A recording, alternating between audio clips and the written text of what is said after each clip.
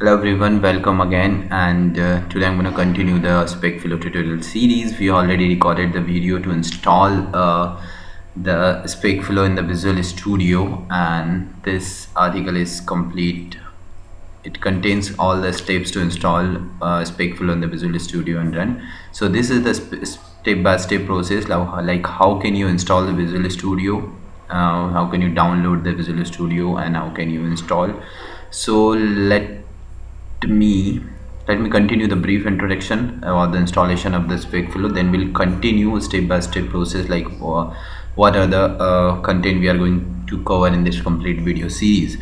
So to uh, at, at, the very first step you need to install the Visual Studio in your machine. So you can directly uh, hit this link and just open this community edition if you're gonna use it free. And uh, install to install the spec flow just open it just navigate to the tool section go to online and search here for the spec flow then download it. After this you need to restart your system. So restart your uh, node system. You, you, need to restart your visual studio.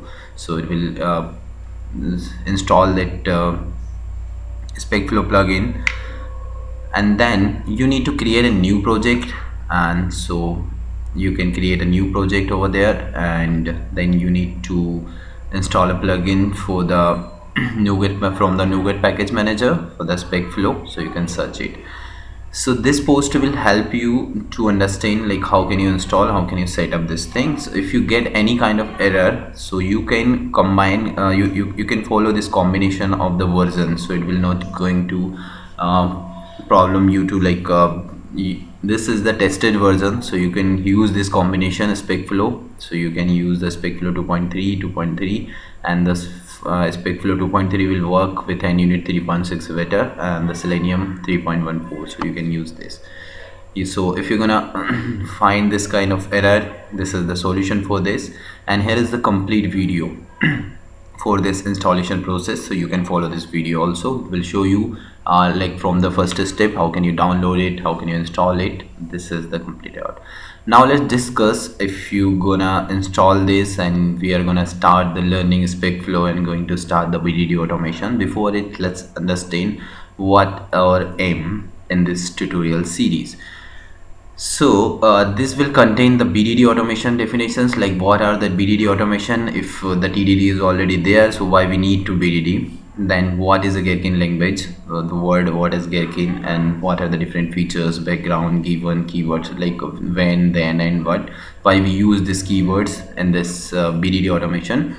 And what is the spec flow? And what are the tables in the spec flow? Scenario context in the spec flow. How can you perform? How can you achieve the data driven automation in the spec flow? And you already seen this installation. So uh, this all the topics will cover with the practical examples and uh, will will will cover uh, with a practical example. So let's understand that the very first step what is a BDD automation. So what we need to do like when we are going to perform the automation we need to understand the test case. So test case if what if the test case is in the simple language? Like oh, a human man a human being can understand the language. So the BDD comes in picture. Like you can say you, you can say the definition. BDD automation is a bridge between the technical and the non-technical people around the application. Let's understand the concept of BDD automation in detail. So BDD is a technique or we can say a way of programming a way of establishing establish collaboration between the stakeholder developer and tester. So the main aim to understand like what we are going to automate what are the test cases are there. So simply bdd is a format to writing test case in a english language or you can say in a Gherkin language. So what are the tools available to perform the BDD tools, uh, BDD automation. So we have Cucumber if you're gonna work with Java. So we have Cucumber, SpecFlow if you're gonna work with .NET, Jasmine, and Serenity MMM Spec. so in this series, we'll focus on the SpecFlow.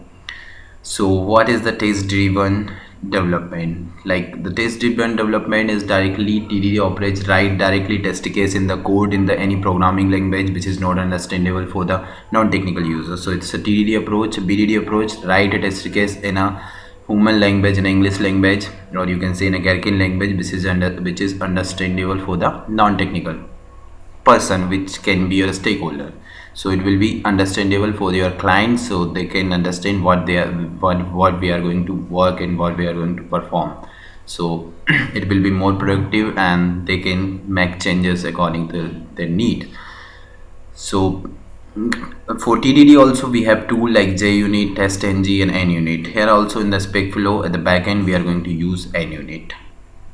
So what are the advantage? The most important question what are the advantage of the BDD automation?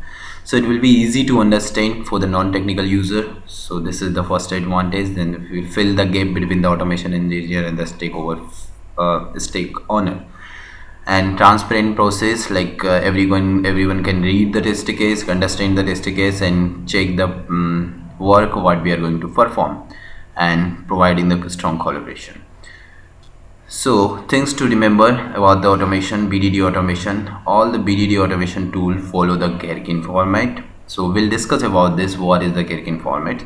And the most demanding BDD automation tool are the Cucumber and the SpecFlow these days. Cucumber for the Java and SpecFlow is a uh, you can say uh, SpecFlow is a Cucumber for the for the .NET. So Cucumber for the Java and the SpecFlow for the C Sharp say .NET so now let's have a brief introduction about the Gherkin language. So what is the Gherkin language? So as I discussed uh, as I told you like uh, we need a test case writing in a simple language.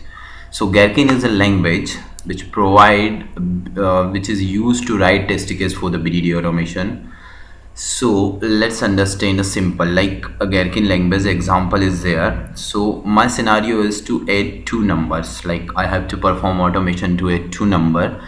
So we are using some keyword there which is the given and when then. We'll understand this keyword in detail.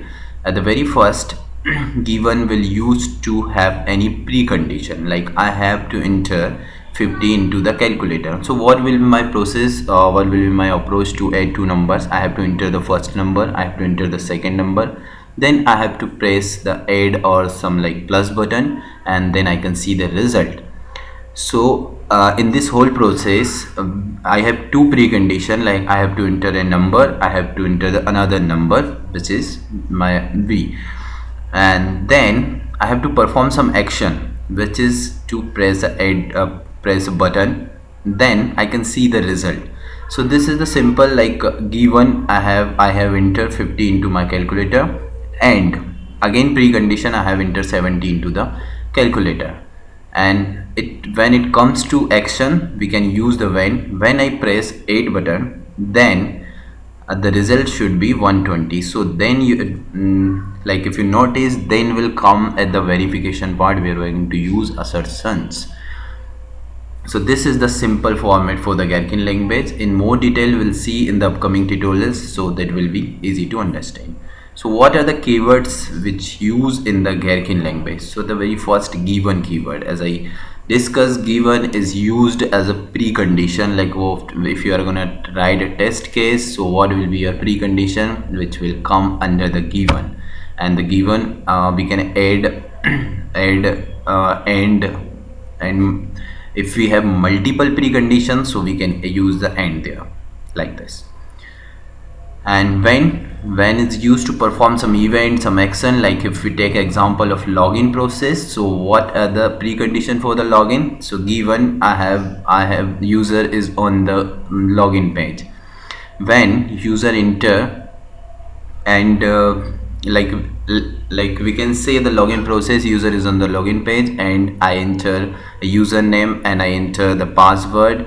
And when I press the login button then I can see user is able to uh, or able to log in successfully. So this will be the code test case for the login process. So I hope the given and when and then is clear.